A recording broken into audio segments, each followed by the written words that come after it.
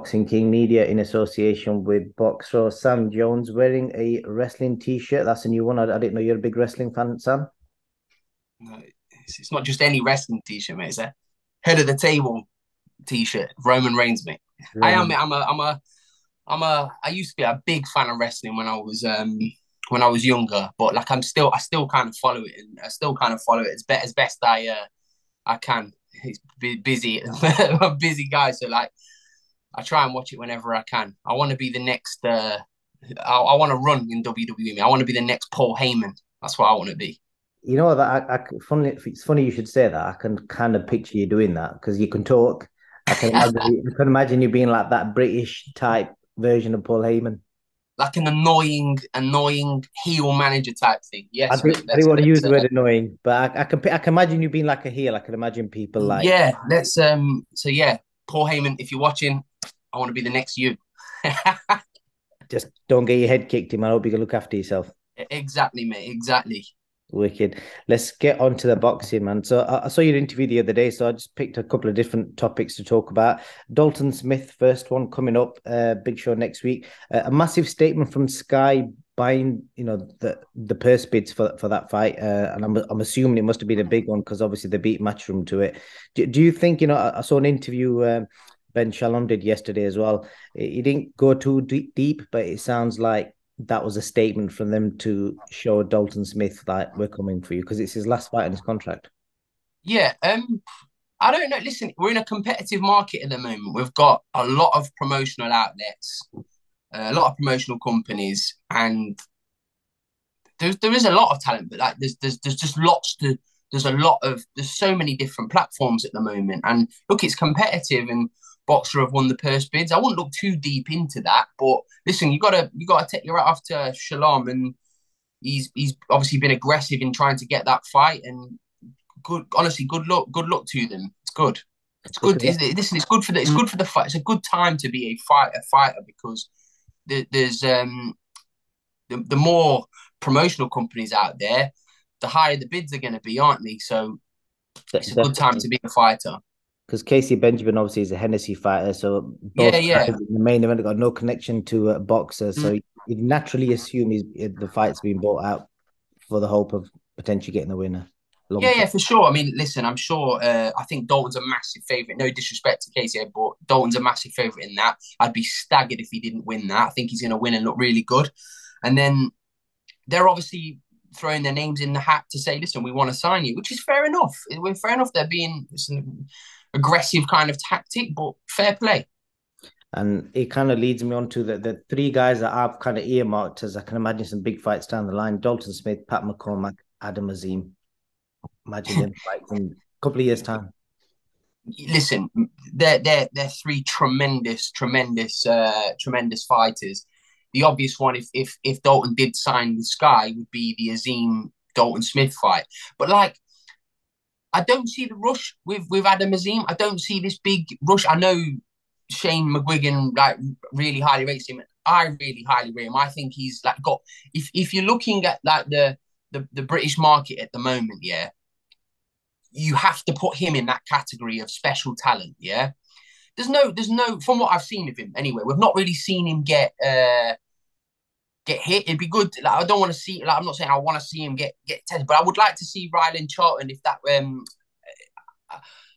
because of Rylan Charlton's style. I think Azim will look really good. Like I, I would like to see Rylan's a nice guy, um, but I can see Azim doing a real job on him because of the style. Do you know what I mean? It's a, so I don't know whether we can use it as a measuring stick, but we'll see. If Rylan Charlton lands lands, then we'll we'll see what what his chin's like because Rylan's Rylan can punch. Everybody knows that on the on the circuit that Rylan can punch.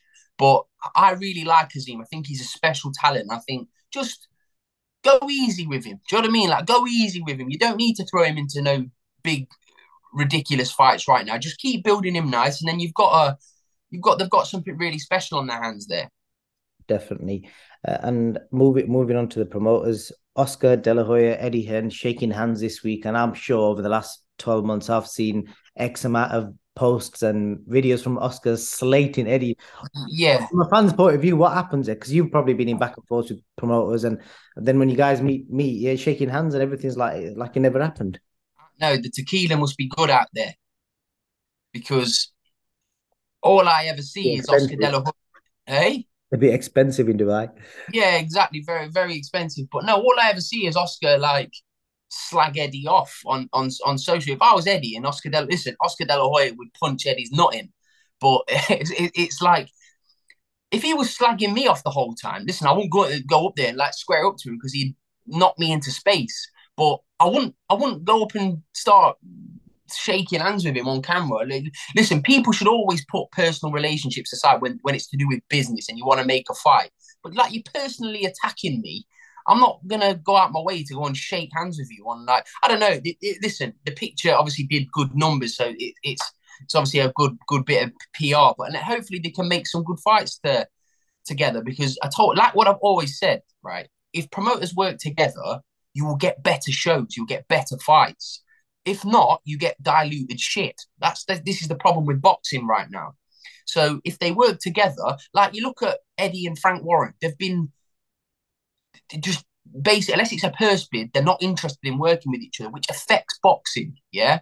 You can think someone's a dickhead, like he can think he's a dickhead or he thinks he, but work together and then you put on a great show. Like Zach Parker um, against John Ryder. Okay, although it won't probably appeal to like I don't know casual fans that don't that, that don't like obsessively watch boxing. But everybody knows in the trade that is a that is an that is an amazing fight. I can't wait to watch that fight. I hope it does really well, like with ticket sales and stuff, because it's a really really great competitive fight. I can't wait to watch it. But look, when when they work together, look what kind of look what you can look what you can achieve. Why, why do you think Eddie allowed um, Ryder to go go on to BT and fight him and not? Um, I don't know. Like maybe like to, to keep the working relationship with BT, but also he obviously that he obviously believes that he fancies the job. Ryder fancies the job, and Ryder has to be a favourite in that fight due to the fact of who he's beaten, who he's been in with, his recent run of form. Um, Zach Parker hasn't really been in with anybody. Like his biggest wins is um is Marcus Morrison. That that would that's what I would say his biggest win is. And you he's looked he's looked the part, Zach Park, he looks as though he can punch. He looks like he's got all the potential to be something really quite special. But you don't know yet until you put him in this type of fight with and fair play to Parker because he looks as though he will fight anybody. He wanted to fight Andrade. Nobody wants to fight Andrade because he's just got a style you just don't want to fight. He was ready and willing to take him on. So you can only take your hat off to someone like Zach, and uh, I'm really looking forward to watch that fight. Definitely, and big big fight weekend this Saturday in uh, Abu Dhabi, um, and just on the back end of this show that DAZN have put on, obviously. I spoke to Eddie last week and I suggested, you know, they missed out on three big pay per views, which would have been a massive inroad into the UK market. Uh, two potential AJ fights, Eubank Benn. It's obviously costing millions. Do you reckon this type of card this Saturday will attract UK subscribers, or do you think it's more of a show that'll probably just keep the US fans happy? I don't. To be honest with you, mate, I don't really know the answer to that. But like I say, will it appeal to the casuals? P- probably not. But in the trade, it's an unbelievable card. Nobody can knock that card from top to bottom. Great fights. Um, the, the fight I'm most looking forward to, I don't want to discredit the main event because the main event's a great fight, but I'm looking forward to see Chantel Cameron uh, against Jessica McCaskill. I think that's going to be an unbelievable fight. Chantel deserves her opportunity. She deserves this moment. And if she wins, which is like what I expected to do, and and the Serrano fight can't happen. I would like to see Chantel Cameron against Katie Taylor. I've been asking, I've been saying that fight. Chantel undisputed against undisputed. You can't get any bigger than that. It's just it's a it's a mega it's an absolute mega fight that is. Uh, and Chantel, I know, being the person she is, will go to Croke Park no problem and fight Katie Taylor. And I actually think it will be a better fight than the Serrano fight. That fight was one of the best fights you can see. But I think Chantel's style is just as aggressive, just as crash bang wallop as Serrano's style. And I think you'll get a, a great fight. But I know she has to do the job this weekend. It's a tough task with McCaskill. But I just think she's just that much better in every department, Chantel. So hopefully she gets her big her big moments afterwards because she's done boxing the hard way. Got loads of respect for Chantel. I definitely agree with you. Uh, and with regards to the main event, uh, do you give Zurdo a chance against Bivol? Yeah, Yeah, of course, you you can't not give him a chance. He's like 44 and 0, like, like he's a top fighter. But I just think Bivol's again just that bit better in every different department. I think he's um his confidence will be at an all time high. He's just beaten the uh the pound for pound num- well the, at the time the pound for pound number one, the biggest attraction in boxing. So his confidence will be at an all time high. So I would make Bivol the favourite in that fight. But I wouldn't be shocked either way. But I would make Bivol a, a clear, clean favourite in that fight. And just moving on, next week, Probellum uh, back in action first. Just a quick one as well. Just a quick one as well before I forget. Shout out to Zelfa Barrett. I really, really hope he does the job on on Saturday. Really tough ask, but I really hope. I wish him all the best. So shout out Zelfa Barrett. Definitely, and it's great to see Yafai back as well because I think it's nearly three. Absolutely, years. been been a long, long time for for Kal. I know I don't know whether he's had some problems outside the ring, but good luck to Kal Yafai in the in the ring. Great to see him back he looks in a good place. He's got a big beard, so I'm assuming he's he's gone to yeah, big beard, ready to go, isn't he? Big beard. That's it. Um, and then Probellum, first big show. I'd, I'd say we'll be right in saying first big show since the big drama. Uh, you know, about probably nearly a year ago now. So first big show back on the road next Saturday. Yeah, Friday, big show. Big. It's it's a, it's a great show. It's a great show next week. Again, from top from top to bottom, it's it's it's it's a stacked show. You've got the Brazilian gold medalist Herbert Conceição, brilliant talent. You've got Marcel uh, Braithwaite against Thomas Essomba for the British title. Really great competitive fights, 50 50 fight. Jack Bateson against Shabaz Masoud, which everybody's talking about. That could have headlined a, a, show in itself. It's, it's that it's that good of a fight. And then you've got um, Edwards against Alvarado, which is an unbelievable fight. I mean, people because of Sunny's talent, people assume that it's an easy fight. It's not. It's a hard fight. It really is. It's a tough, tough fight for, for Sunny. But with Sunny being who I believe is the number one in the division, I, I expect him to look really, really good and come out of it, um, pass the test with flying colours. I think he'll do a great job, and uh, hopefully, gets a super fight after after this fight. How realistic is that though? Because he was so close to getting the Martinez fight, and and it's quite evident now that Martinez pulled out. Uh, there's never there's never really been any explanation from obviously from Matchroom Martinez as to why the do? No, exactly. That's what I mean. Sunny did everything he was asked, asked of him. He was going to go to Ed, go to Mexico to, to to fight him. He was he was prepared to do everything asked of him. And then he, uh, he Martinez pulled out at the final hour. The questions have all got to be aimed at him because Sunny's game to fight any of them. You've seen what Sunny's like. He'll move up and he'll fight Bam, but I think Bam's coming down in weight, isn't he? So that's obviously the fight that I believe Sunny will I don't want to speak on his behalf, but that's the fight that he's been talking about wanting. So let's hope that fight can get done afterwards. Because again, it's another great fight for the division. Um, no one can accuse Sunny of not wanting to fight people. He would literally fight anybody. So um, credit to Sunny's Sunny's a credit. Definitely, and, and then moving on, you know, last week's hottest topic, it probably still is going to be till it till it irons out. Conor Benn situation. Uh, I read, you know, he, he kind of confirmed in an interview with one of the papers that the fine that he was uh, told to pay by the boxing board 50 50,000 pound. What on earth would you have to do to pay to have to pay a fifty thousand pound fine? Well, what's the fine for? Nobody knows, but that's what I'm asking you from your experience in boxing you must be doing something really serious to have, have to be fined 50 grand. That's a lot of money, that. Like um, Kash Ali was fined about 10 grand for the bite against David Price, and I know that. So 50 G's is a lot of money. Yeah, it's a lot of money. Um, but I don't know the facts, mate. All I know is right, and, and and I spoke about it in my last interview. I don't like to sound like like I'm repeating myself all the time, but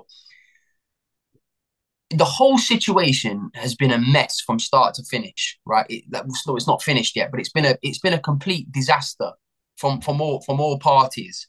Now, all roads lead to the fact that Conor Benn has cheated. Yeah, it, that, that that's what it's that's what it it looks like. Like I know I keep using an example, but like he looks as guilty as OJ Simpson at the moment. He does.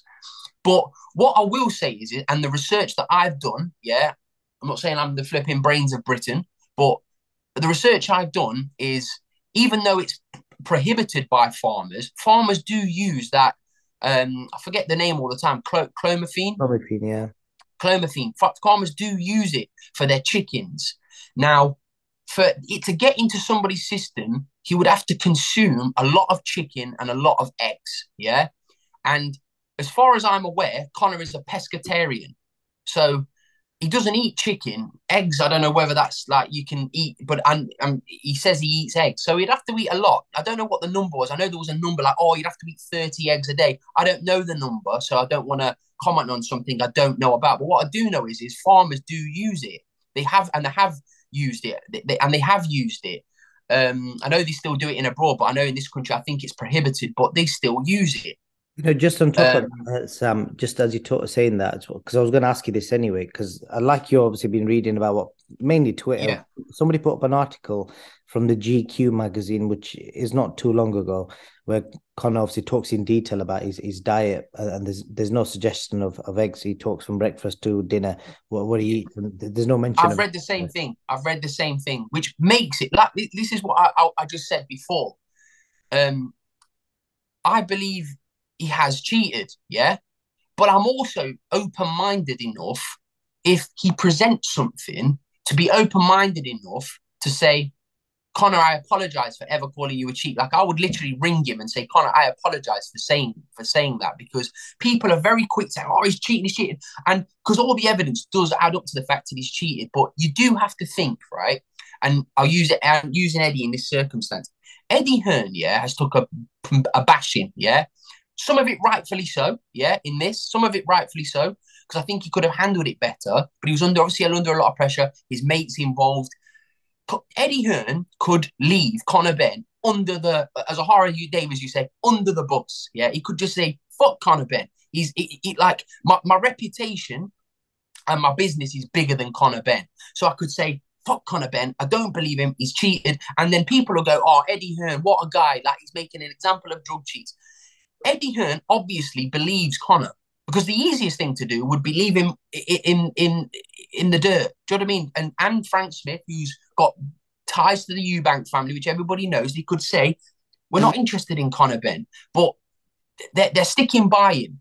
And again, I mentioned this the other day. I believe Tony Sims. I, tr- I, I look at Tony Sims and I think he's an honourable man, and I trust him. So I don't believe he knows one single thing about what's gone on here um, if Conor has is to have come out that, that that he's cheated. I don't believe he does. So what if Conor Benn has cheated, which it looks like he has? It's something what Eubank has put on his Instagram, which is perfectly right. What you do in the dark always comes out in the light. And I think it's just between him and a supplier, whoever's a doctor. I don't want to well, drag that doctor. Well, you, you brought the doctor up. This again, this is something else I saw on Twitter.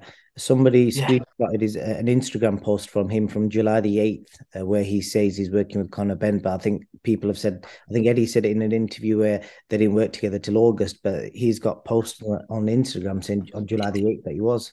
This is what I mean as well. Like, I'm moving on to that, that subject. When people say, I don't, what I don't like hearing is the levels, this levels thing. Oh, there's level, there's, there's only small amounts of levels found in his system. Listen, there's things called, if you research it, again, I'm not Brains of Britain, but I do research before I start opening and spouting my mouth off, microdosing. Yeah. So it's easily uh, easily flushed out. Now, what it looks like, yeah, from the outside outside perspective is is that he, he, he's on a cycle.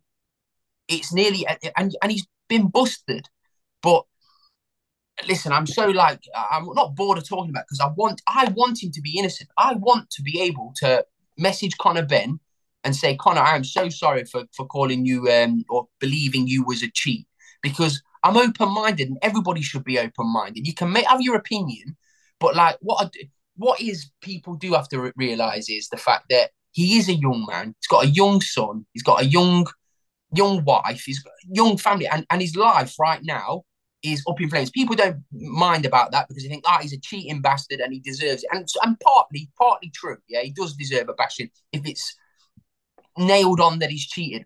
As it stands right now, he's cheated. It's in his system and he's cheated until he proves otherwise. So all I would say to people is, is keep an open mind. And if he does eventually prove it, well, everyone's going to end up with like egg on their face again for bashing him for cheating. But people can only people can only we've, we've all got eyes and ears. You know what I mean? And we're all like, like we're, and we've all got our entitled to opinion.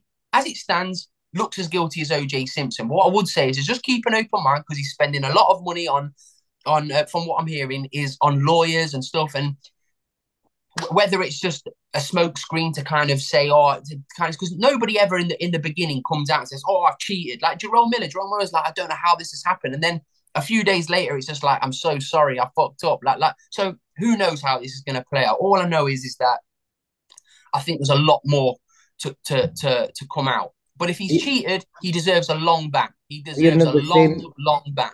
Are you under the same impression as Dan Rafael? Because he was quoted as saying, you know, the trace amount uh, story in his words is, is, a diversion. I don't like. Uh, I don't want. I don't care about trace amounts. Do you know how many how, how many levels is good to find in your system? Zero. Zero. I don't want to see it here any. And like what I keep saying, Google micro micro dosing. Okay. It, it's like, like what I said to you before. All roads lead to the fact that he's cheated. But be open minded in life. If Conor Benn can prove his innocence, which let's face it, looks very unlikely, but if he does, then everybody owes him an apology. But until then, unfortunately, it's guilty until, proven innocent. Thank you, Sam. And then just last topic I want to speak to you about. It came out yesterday, Josh Taylor, Catterall. It's on Feb 4th, not officially announced, but the rumor is that it's going to be pay per view. What do you make? What do you make of that pay per view? Um, yeah, I've heard. I mean, from what I'm hearing, it's not nailed on where the venue is. I know. I, I know it came out to say, "Oh, it's in Scotland." That's not what I've heard. So let's see. I mean, Jack deserves his rematch. It's a big domestic fight.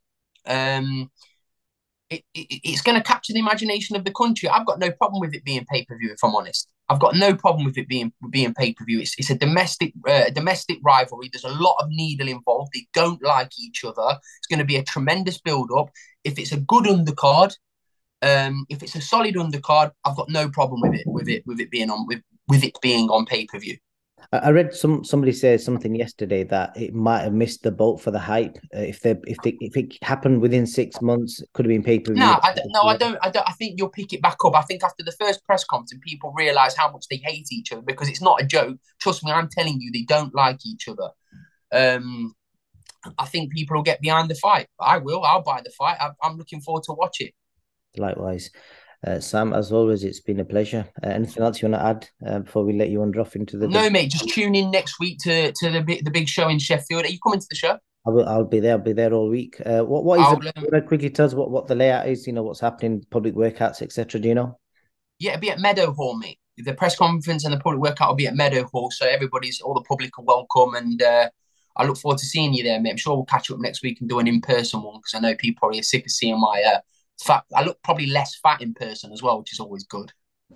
Uh, you, you said it. You said it, Sam. I appreciate your time, man. Top man, mate. See you later.